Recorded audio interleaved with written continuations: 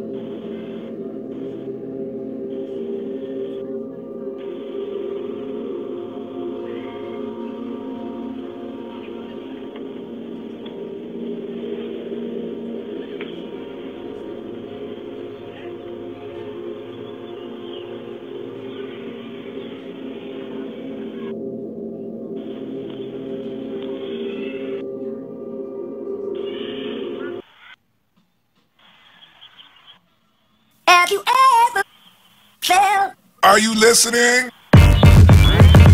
Damn.